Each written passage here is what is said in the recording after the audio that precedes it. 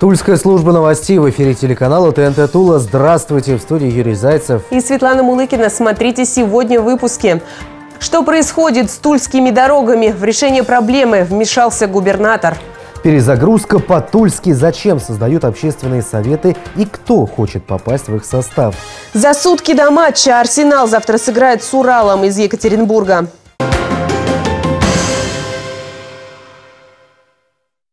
8 марта – выходной день не для всех. В Туле продолжили ремонт дорог, привели в порядок 600 квадратных метров.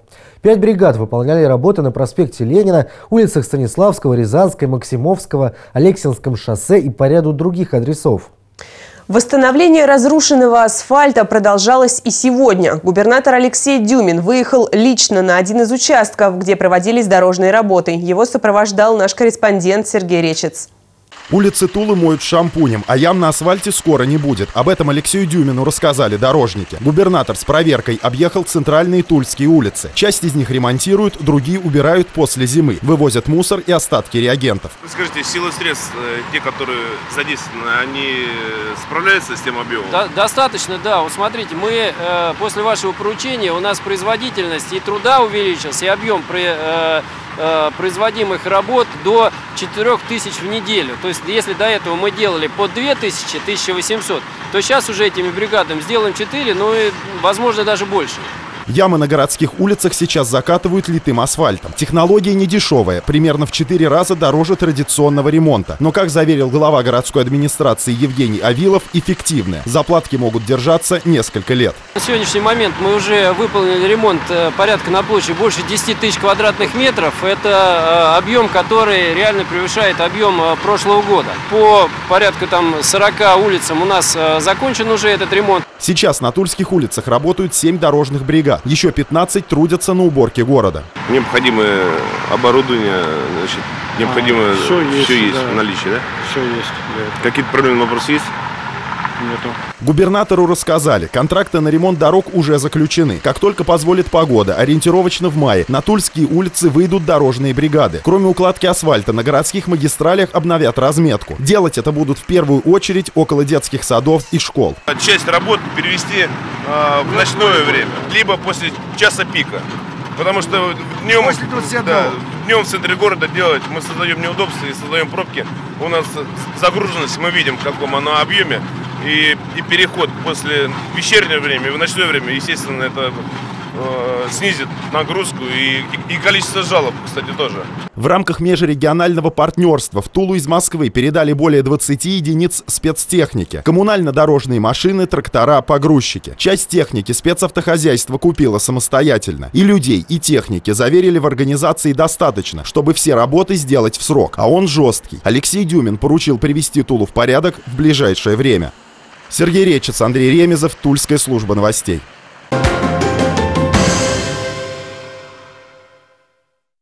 В Тульской области началась очередная перезагрузка. Перезагрузка 71, так называется проект по отбору кандидатов в состав инспекции при комиссии общественной палаты, общественных советов при органах власти региона и муниципалитетах. Кандидатов становится все больше, и в их числе есть достаточно известные тулики. О целях, ради которых создаются новые общественные структуры. Следующий сюжет.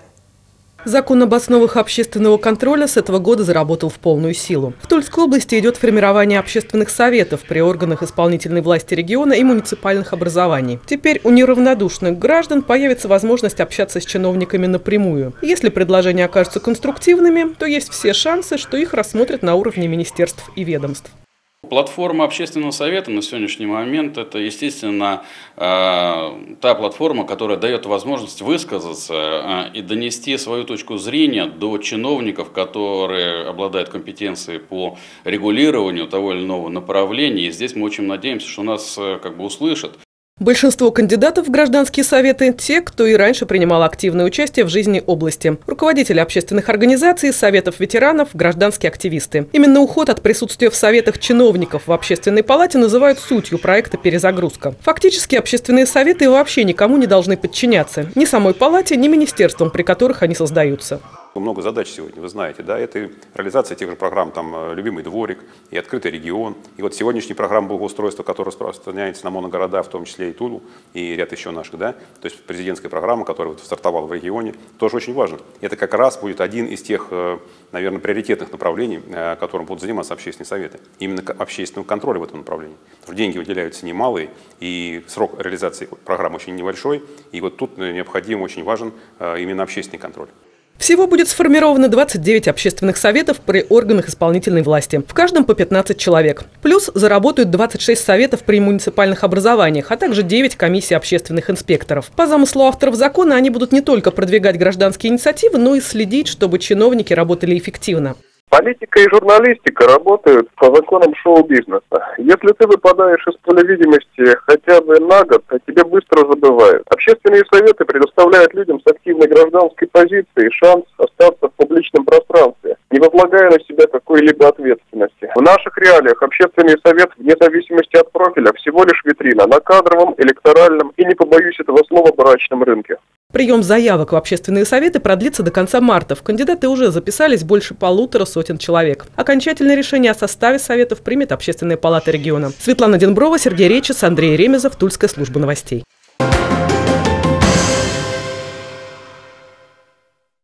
168 административных правонарушений было выявлено в 2016 году в Тульской области органами Государственного земельного надзора. Об этом на пресс-конференции рассказал министр имущественных и земельных ресурсов Тульской области Михаил Пантелеев. Сумма штрафов составила 973 тысячи рублей – Одним из серьезных действий в наведении порядка с землей стало формирование перечня участков для бесплатного предоставления в собственность многодетным семьям. В него включено 318 территорий. Еще 146 участков учтены для выделения их другим льготным категориям граждан. Кроме того, определена кадастровая стоимость более чем миллиона 360 тысяч объектов капитального строительства. От этого, напомним, зависит величина налога на имущество также совместную работу с управлением а, Росреестра по Тульской области и управлением ФНС по Тульской области, результатом которой стало определение на текущий год а, перечня из а, более 5 тысяч объектов недвижимости, в отношении которой налоговая база по налогу на имущество организации определяется как кадастровая стоимость. На комплексное благоустройство Тулы в этом году потратят свыше полутора миллиардов рублей. Сумма немалая, она будет распределена по подпрограммам. В каждой из них свои задачи – благоустройство дворов, скверов, тротуаров и других объектов городского хозяйства. Но результат любых вложений будет сомнительным, если сами тулики не будут соблюдать порядок. Еженедельно городским службам приходится сталкиваться с такой проблемой, как брошенные автомобили. Как ее решают, расскажет Илья Логинов. Тройка железных коней уже более 20 лет украшает исторический центр города. Автомобили незыблемо стоят посреди двора седьмого дома по улице Благовещенской. Заброшенные машины доставляют неудобства не только автомобилистам, но и пешеходам. Жильцы нашли владельца брошенных машин, но выяснить отношения мирно не получилось. Мы даже поссорились, э, вот, э, потому что я говорю, что это общий двор, и тут должен, должен быть какой-то порядок. Вот. Но он не смотрит на это. И как бы я много ему говорил, у него тут три машины стоят. Хозяин авто считает, что имеет полное право на бессрочную парковку во дворе. Это законом не запрещено. У городского управления по административно-техническому надзору нет полномочий принимать меры в отношении автохама. Тем более, что на машинах есть регистрационные номера. Видите, что регистрационного знака нет, а вернее есть, угу. вот с номерами. То есть это уже не наша как бы компетенция, мы ничего не можем с ними сделать.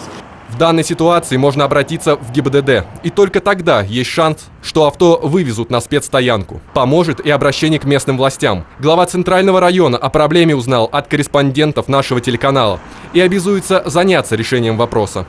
Если есть собственник автомобиля, он обязан, и если э, нахождение автомобиля нарушает правила благоустройства, он обязан его э, исправить справа, иначе будет оштрафован. В данном случае это рассматривается не как транспортное средство, ну а как, э, скажем, наверное, элемент такой э, загрязнения окружающей среды, если у него вид соответствующий, там, например, разбитые стекла, да, или нет дверей, используются по непонятному назначению. Жители района не намерены больше мириться с брошенным транспортом. Если администрация не сможет помочь, они намерены самостоятельно перевести машины на свалку. Однако инициатива наказуема. Уголовный кодекс расценивает это как неправомерное завладение транспортным средством без цели хищения. За это может грозить внушительный штраф или лишение свободы сроком до пяти лет. Илья Логинов, Андрей Ремезов, Сергей Давыдов, Тульская служба новостей.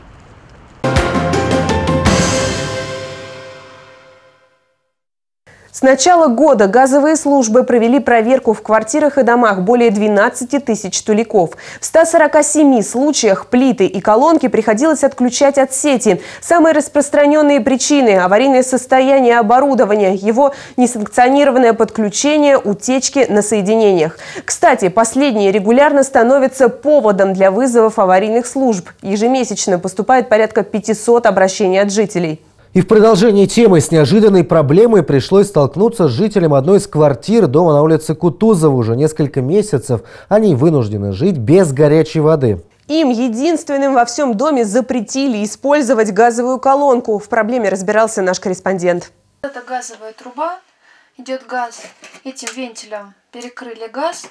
Специалисты Горгаза повернули вентиль более двух месяцев назад. С тех пор жильцы остаются без горячей воды. Полное несоответствие нормам безопасности, так объясняют причину коммунальщики. Дом 45-го года постройки. Вентиляцию в нем монтировали, опираясь на нормы того времени. Вытяжка есть только одна, но по нормативам их должно быть минимум две. При подключении водонагревательной колонки к дымоходу выяснилось, что тяга отсутствует. Мы живем здесь с 98 -го года, и проблемы у нас никогда не было с газовой колонкой.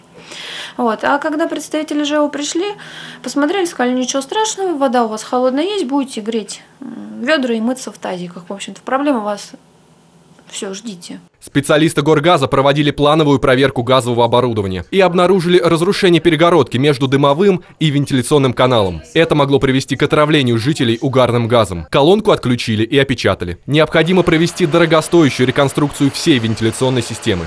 А, возобновление газоснабжения в данной квартире и подключение газовой колонки будет возможно после того, как а, в адрес а, компании «Тулугоргаз», управляющей компании, обслуживающей данный дом, предоставит акт об исправности дымовых и вентиляционных каналов.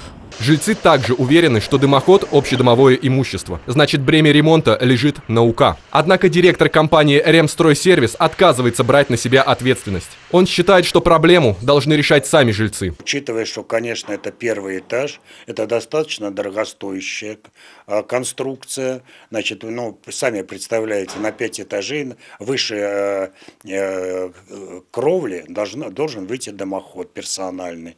Вот. Кто этим должен заниматься, но в любом случае управляющая компания никаких реконструкций, никаких капитальных работ не проводит. Пока идут споры между газовщиками и управляющей компанией, жильцы вынуждены жить без воды. Илья Логинов, Софья Кириллова, Сергей Давыдов, Тульская служба новостей.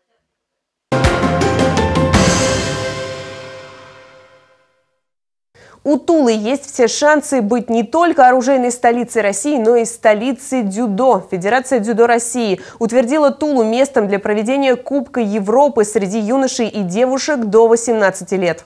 Турнир пройдет в нашем городе 1 и 2 апреля. В соревнованиях примут участие более 700 сильнейших спортсменов континента и 40 стран. Точные цифры станут известны позже, после регистрации. Ну а сами соревнования пройдут в спорткомплексе парка отеля «Грумонт». Тульская медиагруппа и ТСН-24 в числе основных информационных партнеров соревнований. Ищите подробную информацию на нашем сайте и выпусках новостей. Завтра в 19 часов на центральном стадионе Тулы «Арсенал» примет Екатеринбургский «Урал». На данный момент клубы в турнирной таблице разделяют 5 очков.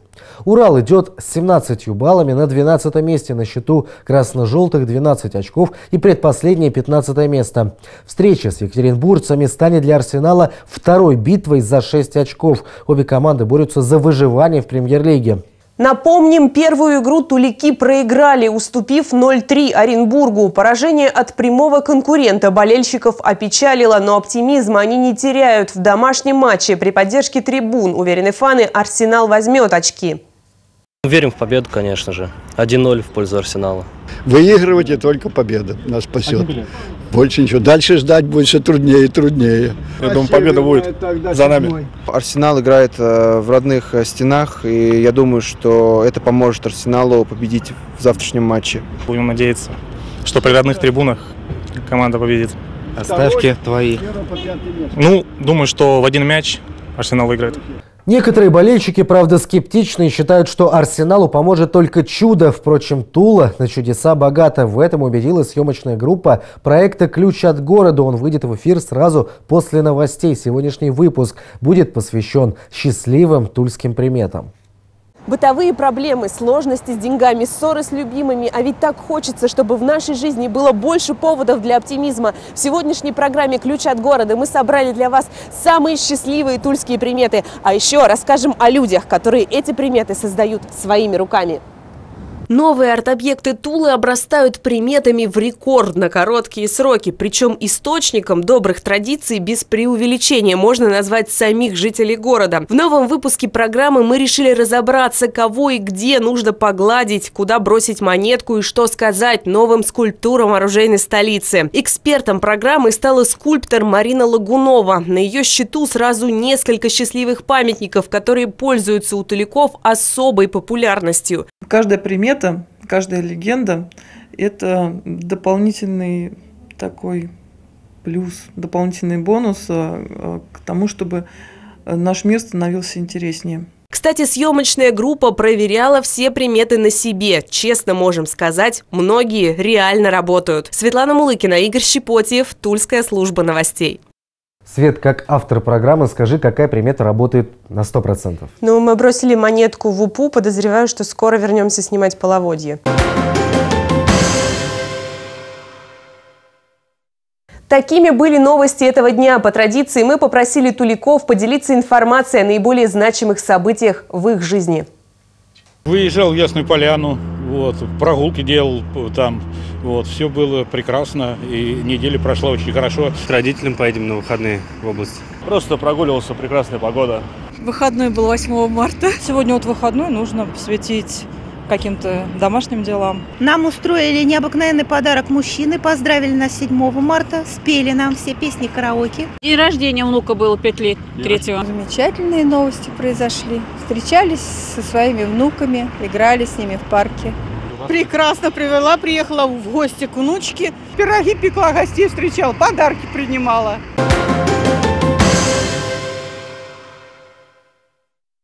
Это все, о чем мы успели рассказать вам к этой минуте. Сразу после выпуска новостей смотрите прогноз погоды. Ведущая программы Алиса Сокол поделится самой достоверной информацией. Ну а больше новостей ищите на нашем сайте tsn24.ru. Узнавайте о самых главных событиях Тулы области вместе с нами. Делитесь также своими новостями. Телефон редакции 25 45 45. Смотрите Тульскую службу новостей ежедневно по будням 14 и 19.00, а также на канале YouTube.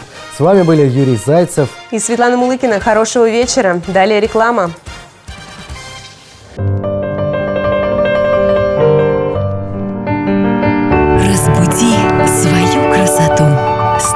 красоты Юнона. Телефон 30 93 87.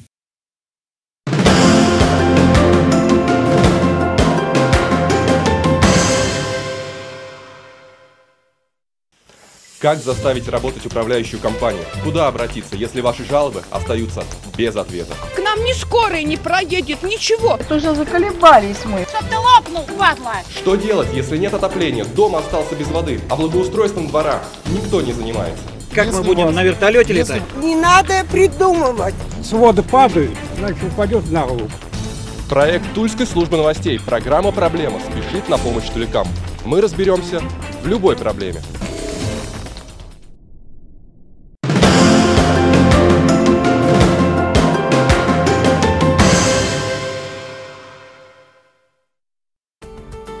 В эфире прогноз погоды от Тульской службы новостей. С вами Олеся Сокол. Здравствуйте. Славяне верили, что именно 10 марта необходимо молиться Тарасу Бессонному, который помогает избавиться от лихорадки. Чуть позже подробнее об этом дне, а пока погоде в Туле области на ближайшие сутки. В городе Алексине градусник термометра покажет 0 плюс 6, в Ефремове минус 1 плюс 4, в Белеве 0 плюс 7, в Новомосковске минус 1 плюс 4. По прогнозам 10 марта температура в Туле будет колебаться от 0 до плюс 6, облачно с прояснениями. Влажность воздуха 72-80%, ветер юго-восточный до 7 метров в секунду. 10 марта магнитных бурь не ожидается, условия очень комфортные. Православной церкви почитается память священнослужителя Тарасия, который прославился своими добрыми делами, выступал как защитник слабых и обездоленных, занимался сооружением многочисленных больниц и приютов. 10 марта обращали внимание на всякие приметы. Если в этот день дверь неожиданно сорвалась петель, то жди беду для всей семьи. А если слышно карканье ворон, то лето будет ненастным с большим количеством дождей. На сегодня у меня вся информация. Хорошей вам погоды и отличного настроения. С вами была Леся Сокол. Увидимся завтра в это же время.